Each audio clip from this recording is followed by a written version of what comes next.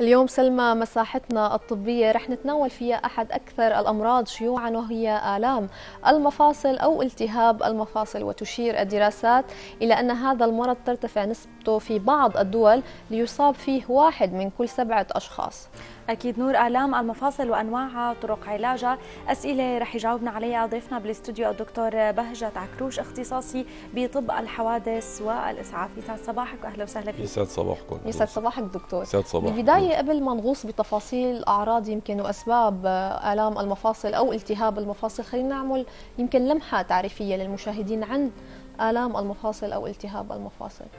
طبعا أول شيء صباح الخير للجميع إن شاء الله ويوم سلام لسوريتنا الحبيبة ولكل ناسنا ولأهلنا. بالنسبة للمفاصل والتهاب المفاصل يعني النظرة التشريحية البسيطة نعرف شو هو المفصل. المفصل هو عبارة عن طرفي عظم خلينا نقول من بيكون إذا كانت الركبة في الفخذ مع الساق. بيتضمن غضروف بيتضمن أربطة بيتضمن أوتار بيتضمن سائل مفصلي. بيتضمن سطح مفصلي. كل وحدة منهم هي معرضة لإصابة معينة بطريقة أو بأخرى إن كانت رديه ولا كانت مرضية أو كانت مناعية. فلذلك التهاب المفاصل هو حالة متنوعة وليست حالة محددة ممكن تصاب فيها جزء معين. خلاص هذا هو التهاب المفاصل. وإنما ممكن يكون التهاب مفاصل تنكسي ممكن يكون ردي ممكن يكون التهابي ممكن يكون تمزق غضروف ممكن يكون تمزق أربطة. فهي عبارة عن حالة منوعة واسعة جدا. طبعا واسعة جدا أكيد. طيب دكتور خلينا نحكي عن هي الأنواع وسبب الإصابة. يعني مثل ما قلت في أنواع يمكن لها علاقة بضربات معينة. ممكن يتعرض لها الشخص أو بإصابات معينة. نحكي عن هي الأنواع وأسباب تشكل التهاب المفاصل. بالبداية طبعا التهاب المفاصل في أسباب أساسية في أسباب مناعية في أسباب التهابية عادية. في الروماتيزمية اللي كثير كل العالم بتعرف فيها يعني بتسمع فيها إنه معي روماتيزم. طبعا بيشوفوا أي ألم بالمفاصل بيقولوا معي روماتيزم بالمفاصل. أكيد لا هو هذا هو جزء معين جزء محدد من التهابات المفاصل. فهذا التهاب كثير شائع ممكن نشوفه عند الأطفال أكثر من الكبار. وطبعا بيستمر معهم للفترات للأعمار المتقدمة. في التهاب المفاصل التنكسي اللي بيصير بالأعمار المتقدمة اللي بيصير فيها يعني نوع من التكلس على سطح المفصل وبالتالي بيصير في احتكاك. مع العمر مع نقص الكلس إلى آخره. بصير في عنا تكلسات وتنكسات على سطح المفصل. بيعمل التهاب مفاصل تنكسي. هاي حالة مختلفة عن التهاب المفاصل الروماتيزمي اللي ممكن تصير. في عنا التهاب مفاصل الرضي اللي بيصير نتيجة الردود الكبيرة نتيجة الإصابات وخاصه عند الرياضيين عند الراقصين. اللي عندهم احتكاك مباشر الأعمال المجهدة. فهي كمان بتصير عندنا التهابات مفاصل رضيه ممكن نقول. في حالات من الحوادث اللي بتؤدي إلى إصابة بالأربطة المتصالبة الأمامية أو الخلفية أو الجانبية أو تمزق غضروف كمان هي بتعطي نوع آخر من التهابات المفاصل. اذا يعني هي هي باختصار كثير شديد على بعض الإصابات اللي ممكن تتعرض لها التهابات المفاصل أو المفاصل اللي بيتعرضوا لها. وبالتالي كل حالة هي حالة مخت يعني مختلفة عن الأخرى علاجها مختلف عن الآخر. مشان هيك أنا بحب أركز بسيطة. إنه كل الناس إنه يا دكتور أخذت هي الحبة أو هي الدواء كانت أخذته جارتي وتحسنت عليه دكتور بيعطي لحاله إيه يعني العلاج. كان عم تجع ركبتها طيب عم تجع ركبتها ممكن تكون سببها مختلف تماما عن السبب اللي عن أنت فيه. لذلك بتكون دائما بنقول لكل أخوتنا وأهلنا إنه وقت بيصير في عندكم راجعوا الطبيب لأنه تختلف الحالة من حالة لآخرى. دكتور مثل ما قلت يمكن التهاب المفاصل له أنواع مثل ما حكينا ويمكن في مراحل عمرية زمنية يصاب فيها الشخص. بس نعم. نحن عم نتفاجئ يمكن اليوم في نسبة كبيرة من الشباب عم يعانوا من هيدا المرض مع اختلاف أنواعه. يعني قبل ما كنا نشوف هي النسبة كنا نشوف نسبة قليلة لكن هي النسبة كل ما عم تتزايد. شو نعم. السبب إذا بدنا نقول؟ آه، كلامك سليم بالمية مية أكيد. آه، للأسف آه، تطور ال- التكنولوجيا يمكن. التكنولوجيا والحضارة وإلى آخره. أحيانا نحن بنفهمها بطريقة مختلفة. أه بدي بلش بشيء يمكن الناس تستغربه إنه لما نقول ال fast food اللي كتير العالم صارت عودت عليه الشباب والصبايا اللي هو آه، في كتير من ال- ال- ال- المواد الضارة ما بدي اسمي تسميات معينة هلأ لكن آه، الابتعاد عن ال- الأغذية الطبيعية الصحيحة آه، هي كلياتها عم تؤدي إلى آه، أمراض بالمفاصل. وعم تسرع بعمليات إصابة المفاصل بطريقة أو بأخرى القعدات الطويلة اللي صار شبابنا يقعدوها على النت بضلوا قاعدين وقاعدين بطريقة معينة كمان هي عم تأثر على المفاصل وبالتالي عم تسرع كثير بعمليه الإصابات اللي عم تصير لشبابنا الخمول الجسدي. بالضبط يعني هو عدم وجود الرياضة لأنه يعني ما عاد حدا فاضي للرياضة إنه لا بدل ما أطلع ألعب ساعة رياضة بقعد على النت فيها. يعني للأسف هذا صار واقع. حتى طبيعة عملنا وشغلنا بالموظفين أو شغلنا كله كمان صار مؤتمت وبالتالي أعداد طويلة بعيدة عن الحركة بعيدة عن الليونة. كله هذا هو عبارة عن آه، مسببات ومؤهبات لإصابات ما كانت تظهر سابقا. يعني نحن كنا آه، ليش نقول دائما بأهلنا بالضياع آه، بالقرى تلاقيهم صحتهم أقوى بكثير كانوا دائما يعتمدوا على التغذية الطبيعية يعتمدوا على الأرض يعتمدوا على العمل على, الهواء على الرياضة على الشغل على الهواء. كل هذا هو عوامل مسببة ومؤهبة لإصابات. ما كانت تظهر لنا سابقا حتى على مستوى لو بعيدا عن موضوع التهاب مفاصل. يعني الاحتشاءات احتشاءات القلب اللي يمكن بكل الكتب الطبية كانت بتقول هي بأعمار متقدمة. هلأ بنلاقي واحد عمره 20 سنة و17 سنة أنا في حالة من الحالات إجت لعندي أو مو لعندي كنت بالمشفى بالاحساء وكنت أنا مناوب أو مداوم. آه للأسف 17 سنة باحتشاء. يعني شو عمره واحد عمره 17 سنة يصير معه احتشاء قلب. هي كانت من أندر من النوادر اللي تسجل بالكتب الطبية. مم. فبالتالي ضغوطات النفسية ضغوطات المجتمع الظروف الحياتية اليوم يعني نعيشها كلها هي عبارة عن مؤهبات لنصاب بأمراض ما كنا نشوفها قبل وبأعمار مختلفة عن الأعمار اللي كنا نشوفها قبل نعم يعني كمان دكتور خلينا نحكي عن الإهمال كمان يعني بعض الأشخاص كنا عم نحكي ممكن ينصابوا بشيء معين أو يتعرضوا نعم. لرد أو يتعرضوا لأي حادث ولو بسيط ويهملوا هذا الموضوع يهملوا زيارة الطبيب ويعالجوا نفسهم بنفسهم. قد إيه كمان هي ممكن تؤدي لتفاقم؟ هذا الشيء لالتهابات كبيرة بالمفاصل أو بال... لا شك صديقتي إنه في فعلا في كثير من الحالات للأسف بأسباب مختلفة. ما راح أقول هو بس فقط إهمال وإنما أحيانا خوف واحيانا ما بدي أروح ادفع مصاري واحيانا ما بدي أروح عند الدكتور واحيانا واحيانا. هلأ بروح بيطلع لي 100 شغلة. هذا الحكي فيه كثير هواجس عند الناس. لكن أنا بدي أقول للناس بشكل عام آه، في آه، حكمة قديمة بتقول آه، درهم وقاية خير من قنطار علاج. كثير من الحالات للأسف بنشوفها هي نتيجة الإهمال اللي تفضلتي فيه. إنه واحد يتعرض لإصابة معينة. مثل اللي بيتعرض لحادث سير بتلاقي بيضربوا السيارة بيوقع بيقوم كلهم بيركضوا ما شاء الله قام ما صار له شيء. ما صار له شيء. مين قال لكم ما صار له شيء؟ هذا هي, هي, هي القوه هي القوة الضاغطة اللي ضغطت واللي ضربت الجسم بتفكروا ما, ما بتأثر على الجسم بشكل أو بآخر. ما بتغير له بالديناميكية تبعه. ما بتغير ما بتعمل له رد على العضلات أو على الأعصاب أو على الأوردة أو على العظم أو أو على الأوتار. كله هذا يتعرض له لكن يمكن باللحظة الأولى واحد ما يحس. يمكن بالفترة الأولى إلى خلينا نكون نقول حامية لساعتها حامية الضربة أو لساعتها سخنة ما حسوا 48 ساعة بدها فترة. الرد هذا كثير أساسي وكثير كبير. أكيد هذا بيعمل تغييرات معينة. لو سمحتوا لما يتعرض الواحد طبعا ما عم أقول أنا يوقع صغيرة يعني آه، تفركش فركشة صغيرة نقول.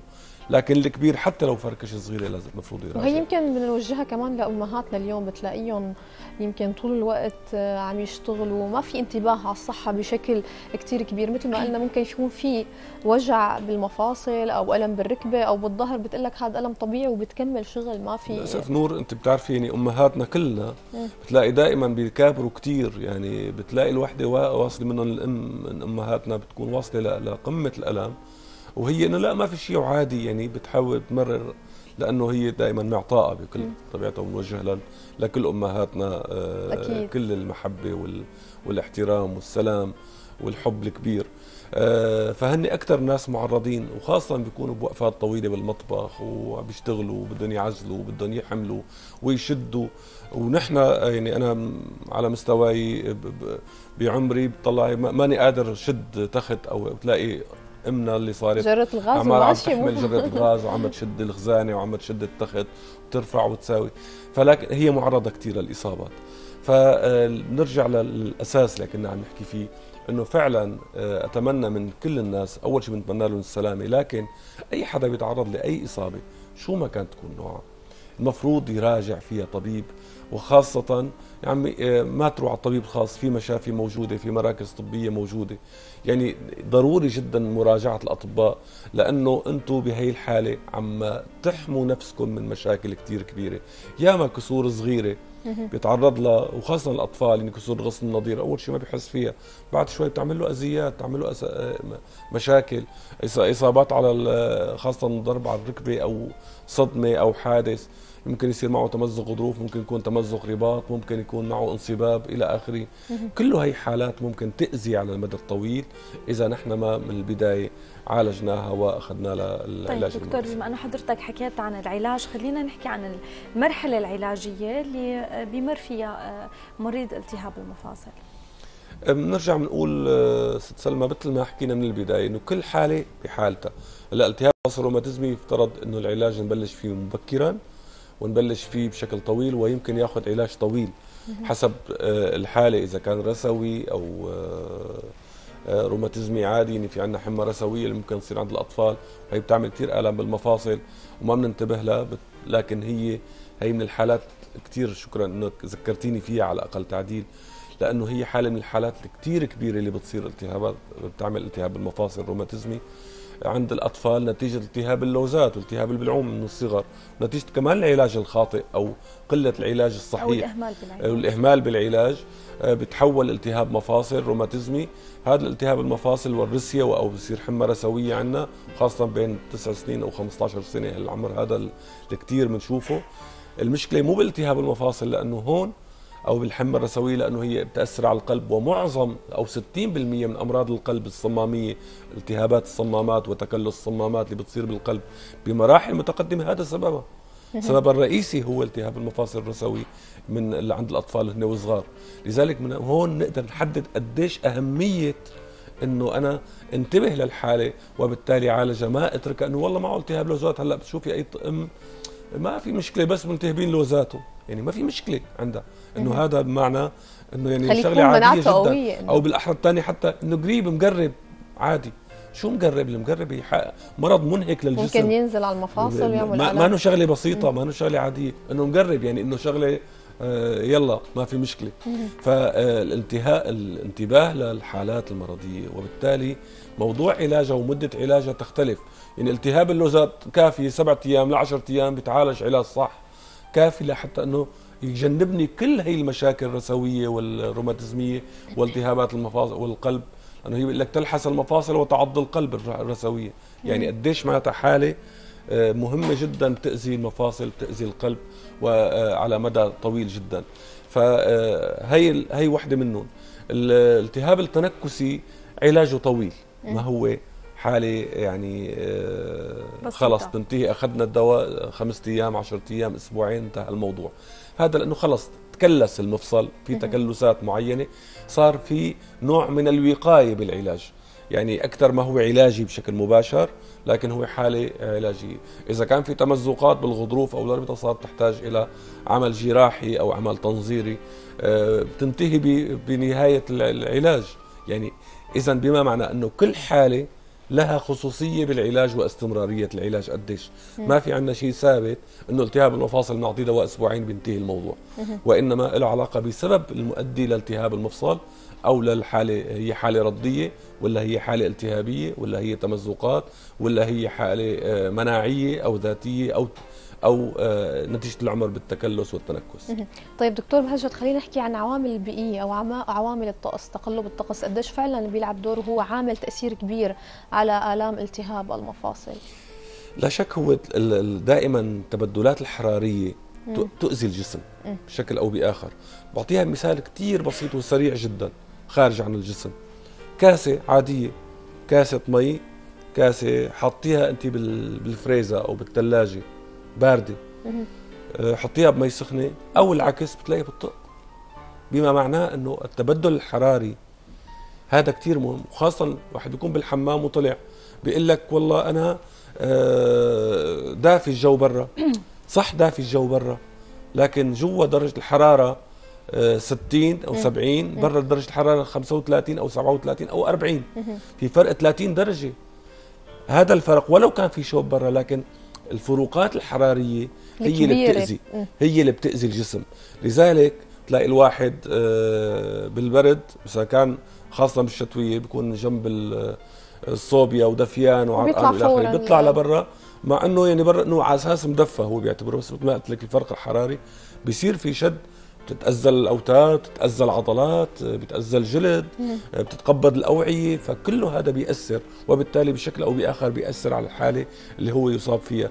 وبيقول لك البرد سبب كل علة مثلا. هو لأنه بيصير في عندك تشنجات وتقلصات و آه، للأوعية الشعرية بتخفف تدفق الدم باتجاه العضو وبالتالي يؤدي إلى آه، إشكالات معينة تختلف حسب الإصابة ونوعية الإصابة اللي موجود فيها. إذا البيئة والحرارة والتغير المناخي الحراري كثير هذا بيأذي بشكل أو بآخر. واحد بالصيف هلأ بتلاقيه كمان عران مشغل المكيف وموجه الهواء عليه آه بيقوم عند الصبح ميبس كله. عضلاته كلها تشنجت وشدت و... وقايم معضل وقايم أنا مقرب ومرشح. لذلك يعني معلش مع بداية الصيف بس في ناس بتقول لك أنا متعودة معوده جسمي ما في شيء اسمه تعودت على الغلط. أنا تعودت على غلط. يعني هذا ليس معناه إنه هو صح. يعني وقت واحد تعود على ارتفاع الضغط بيوصل ضغطه ل 20 وما بيحس فيه. هل هذا يعني إنه هو سليم؟ لا بالعكس. طبعا. هذا نحن بي يعني مؤشر خطر جدا لأنه الألم دائما الألم الله خلقنا إياه هو إحساسنا بشيء حتى نقدر نساوي نعال حتى نقدر نعالج أما إذا أنا عم يرتفع ضغطي وأنا ما عم حس فيه بلحظة معينة بيرتفع لحد محدد معين ممكن يعملنا آه، نزف دماغي ممكن يعملنا احتشاء ممكن يعملنا اي شيء ثاني فإذا المشعر الألمي هو مشعر إيجابي وليس سلبي. على عكس ما الناس تتوقع. إنه أنا والله ضغطي 20 ومو حاسس فيه يعني إنه مو جسمي أنت لا هو, هو تعود على ارتفاع ضغط لكن هذا شيء خطر جدا في الحالات العلاجية. طيب دكتور بختام حديثنا ولو بدقيقه أهم نصيحة بتوجهها لك المشاهدين اليوم. النصيحة بقول دائما مثل ما حكيت درهم وقاية خير من قنطار علاج. رجاء من الكل من كل الناس من أهلنا إنه ما يهملوا نفسهم وخاصة بالحالات الرديه. يعني لما يصير في رد وخاصة كبير سقوط أو وقعه أو حادث إلى آخره لازم ينتبه ويروح ليراجع أي طبيب أو مركز طبي حتى يقيم. معلش عشر دقائق ربع ساعة ما بتغير شيء لكن بتغير له كثير في تطور الحاله المرضية تبعه فيما بعد آه، مع عدم التعرض للبرودة العالية أو الافتراقات الحرارية أخذ العلاج بشكل صحيح اتباع آه، رأي الطبيب بكل العلاجات ويشيك لو كل ست شهور مرة يمكن على هذا الشيء الطبيعي طبيعي. يفترض إنه كل كل سنة معلش نحن موافقين كل سنة يعمل تشيكه مو كل ست اشهر هو كل ست اشهر هذا المنطق والصح. لكن عم نقول كل سنة معلش يراجعوا يعملوا تشيكه عامه يشوفوا طبيب الأسرة لحتى آه، إذا في شيء معين يتم تداركه بأسرع وقت ممكن. أكيد. بالختام بنحب نتشكر وجودك معنا دكتور بهجت عكروش اختصاصي في طب الحوادث والإسعاف. شكرا كثير لوجودك معنا اليوم. شكرا لكم.